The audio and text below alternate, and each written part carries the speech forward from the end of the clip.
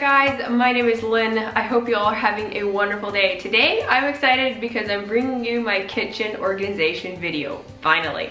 It took a little bit, you guys, I'll admit, and if you guys were waiting on it, I'm sorry. I had some delays, but I'm here now and I'm excited to share it with you. If you are not familiar with what I'm talking about, I am doing a simple kitchen organization series. I have already shown my pantry in one video and also my refrigerator in another one. So make sure you go check out those videos if you wanna see uh, what I'm talking about. I'm not really gonna go into detail in this video because it's already gonna be pretty long. So I'm gonna try and keep the intro short and sweet. If you're new here, I'd love to have you subscribe. We have lived here for about four months and we're just kind of considering it phase one. I did a kitchen makeover video, so make sure you go check that one out if you uh, care to. The other thing I want to tell you is I'm doing a giveaway with about six other ladies on my Instagram and we're giving away a $350 worth of Target gift cards to one of you guys and it is open until May 10th. Um, so I will link all of the ladies Instagrams down below in the description box. So make sure you go check them out, follow them, and enter the giveaway. We're excited to do this, so I hope you go check that out once you're done watching the video. Anyway, let's just get into the video. Okay, so we added this door here, and this is the pantry that goes beside our cabinets, and it's in our kitchen. But this is just kind of a brief overview of what it looks like. And if you want more details on it, go check out that video. I will have it linked below but I love it. It is simple, it's organized, and it works very well for our family. All right, so here in the corner I have my Keurig, my faithful Keurig that has been with me for I don't know how long, five years or more. I'm, I'm very thankful for it. Uh, but I have a couple of other pieces of decor slash uh, coffee stuff beside it just to add a little bit of interest. I don't like a ton of stuff on my countertops, but in any case, this area here above the Keurig is my tea and coffee station. On the top shelf, I have like water bottles and such. I just keep them in some of these copper bins. And these I had gotten at Walmart. There is a coffee grinder and my French press, which is at the top of the shelf. And then I have some syrups, some drink mixes, lemonade, you name it. That's what I have in this one. And once again, I'm trying to stay with the copper theme. You will see a lot of copper in my kitchen because I really love it. But in the second shelf, I have uh, tea, I have straws, I have some other things that just go along with drinks and such. And then I have two jars with coffee and the loose tea leaves that I keep right here in like some glass jars. So this works out well. I don't use a ton of regular coffee. I use my K-Cups most of the time. But sometimes I'll use my, you know, my regular coffee maker, especially if we have company and stuff. And then I just have my white cups that I also use if we have company. And they came with the set I had bought for our wedding. So on the bottom shelf, I have just like regular coffee mugs and also my um, thyroid medication that I take every morning. So I just keep it right here so I know, you know, I don't forget to take it. So that's why I keep that there. Then I have some regular coffee that someone gave me and also I have our K-Cups in this one. I used to keep them in one of those spinny things on the counter but I don't anymore. Just decided to put them away, less clutter and things to look at on the countertop and this is working fine for now. Above the microwave, I have our extra coffee maker.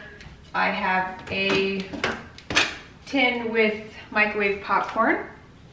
This is just a Grove Collaborative caddy. And I also have our regular popcorn popper up there. Okay, so this area here is where I have my spices and some things like that. Now, let me say this. I have been debating about redoing my spices, but I haven't gotten to it because it would mean buying some new uh, little canisters and different things like that. And I have I think I've used this turntable since we've been married and that's going on eight years and it works fine, it's worked fine. Um, sometimes it's a little unhandy if I have to reach in, try to find something, but turntables are like one of my top favorite things to organize with. Uh, as you can see here, I have just a simple round one that works very well for things that you can't reach, maybe in high spaces or whatever, and you see this quite a bit of different places in my home, but I am thinking about doing something different, so we'll see. But I do have spices and I have toothpicks and also I have some uh, like seasoning mixes and stuff. And then I have my oils and vinegars and spray over here and also on the door. Some of you guys have been telling me I should put it on the door, my pot holders, and I decided to try it. And I had done that in someone else's kitchen, so I was very well accustomed with it as far as doing it, but I just had thought I might not like it, but actually I don't mind it, and it's working out great. So if you're low on space, you can do that yourself. Just use a little command hook, so there's no drilling or, you know, anything. Then on the top shelf, I have a container with chocolates and also on the other side I have cookbooks and that's just easy for me to pull down if I need it. So that works well. In the drawer underneath the Keurig, I have a lot of different utensils. I have um, just different dividers. I These containers right here I got from Dollar Tree and this one was something that came with another um, silverware container that I used to use. So I just have them divided up into like spoons and then sort of divided it up into the different categories. Um, these here are kind of random, but you know, that's just kind of how it is and it's been working great. I put some sticky tack on the bottom of these so they don't slide around, but these are some of my favorite things to use from Dollar Tree. They're very sturdy. They're only a dollar and these things are really big. They also have some smaller ones and then some rectangle sized ones. So in the bottom, they had these two pull out, actually, well yeah, they're two pull outs and then they have like four of the things pull out. I, I don't know how I feel about them. They're okay, but in all honesty, some of my things don't really fit in it very well. However, it's really nice to be able to pull it out and be able to reach it. I didn't used to have that very much. Uh, so this is very nice if I can do that. I keep a lot of my different pans and stuff in here. So underneath the oven, I have my big frying pan and two of my baking sheets. And then beside the oven, on the other side, I have more or less baking utensils. I've got like my measuring cups and spoons and stuff in here. And I have some cookie scoopers in this one. I've got spatulas, I have a whisk and like my beater things and then some more like pie spatulas and a couple of random items in the back. I do keep a lighter in here and also I have a uh, big bread knife. Okay, in these drawers, there's another pull-out thing and I keep our toaster here because we use it almost daily so it's just easy to pull out, plug in right up here on the countertop and then I have um, an electric bread knife, which I probably could just get rid of because I rarely ever use, but it's just something that I've kept over the years because it is nice if you do need it.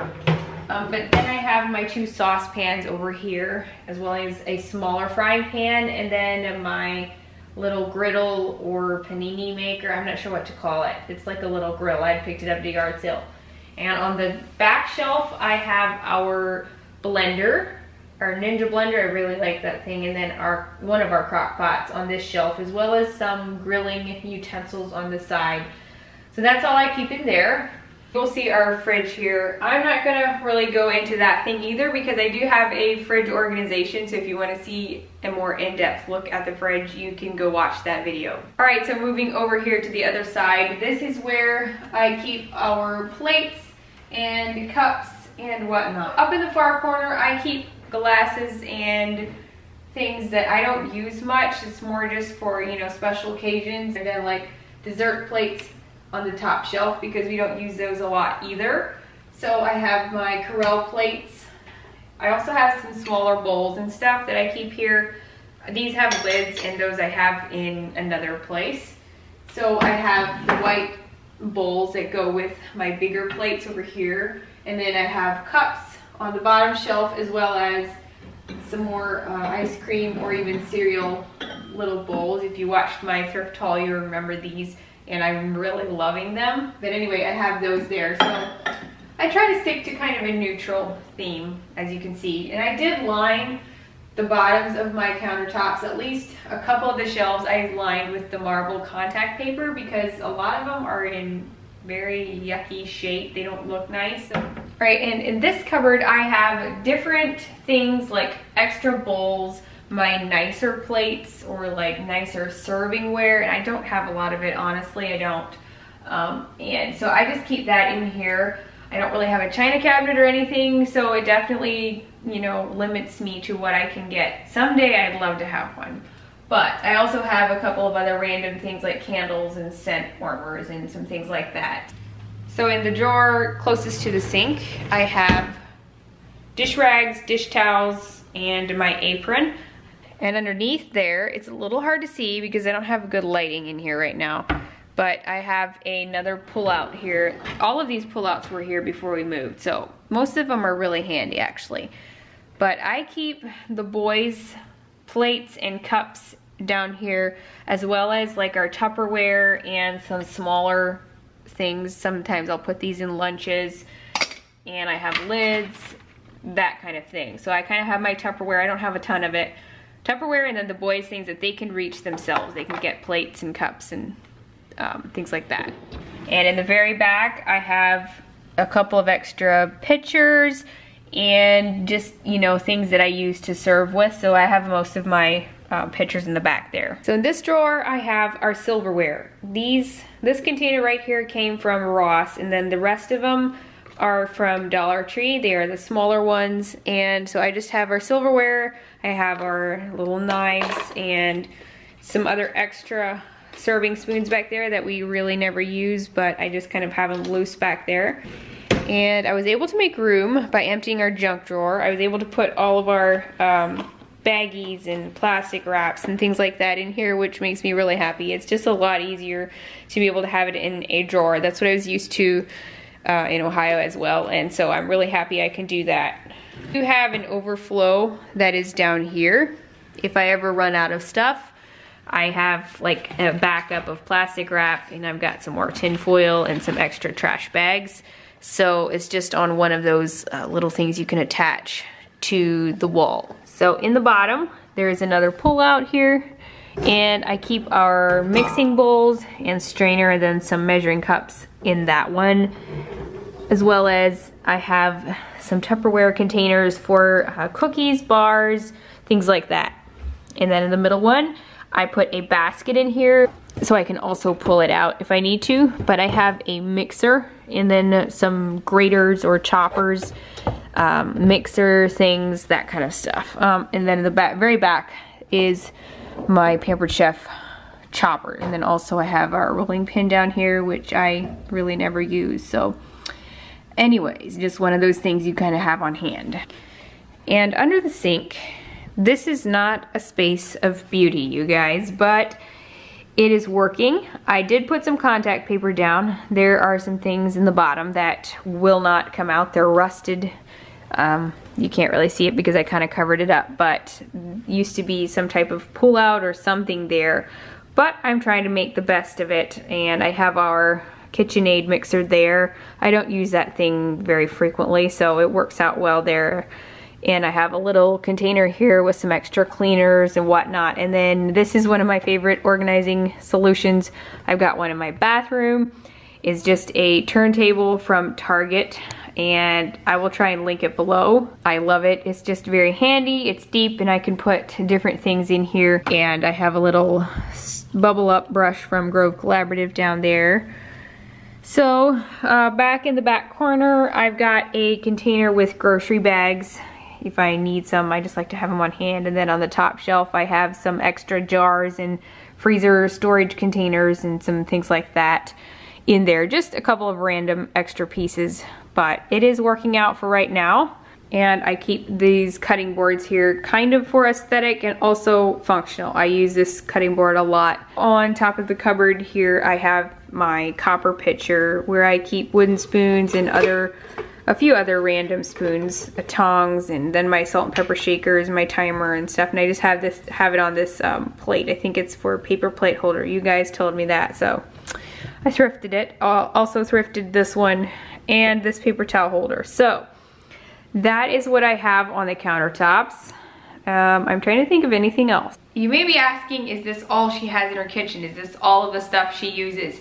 Uh, it is not. I have one cabinet in my little under the stairs closet and I have a lot of my like big mixing bowls. I've got um, extra pans, things that I don't really use a whole lot, but that did not fit in this kitchen. So I do have a little bit of extra storage in there, which I'm really thankful for. And I'll go ahead and show you guys just a little bit of it, how it looks. So the kitchen is over here, and then you come over here to this little closet here. I just opened the door. Hopefully you guys can see a little bit, but this is the cabinet that I was talking about. There's definitely quite a bit of stuff in there, more than you think, but we have this little shelf here and I've got some cleaning products here as well as like some other, sometimes I have paper towels and stuff, but I have our mop bucket, I've got rags and also like some extra Swiffers and um, sponges and that kind of thing. And then there's a little water jug and I generally will put Nick's lunch and his water jug and stuff in here at night or when I'm, you know, over the weekend and stuff. So I've got my Swiffer and a lunch bag here. I have a couple of random things in here right now, you guys, so keeping it real. There's my vacuum, and then there's my mop and my broom and stuff. So let me just show you what is in this cabinet. There is my other crock pot, as well as some other pans and some bigger bowls, strainers, Bundt cake or Bundt pan. There are muffin tins in the back. There's my big pots and there's like a skillet, some pie things. So I have really a lot of stuff in here, honestly. And so I'm very thankful for it. Um, but yeah, it's not stuff I use even on a weekly basis. So it works out well. Um, the closet may not be the prettiest, but it is functional. And I'm really thankful to have this right here. It's just very handy to have. I think that's finally it. I hope you all enjoyed today's video. I enjoyed sharing it with you. If you have any tips or suggestions or questions, let me know. And I will try and link as many things down below as I can. Some of the stuff is not really linkable, so if I happen to find something that's similar, maybe I'll do so.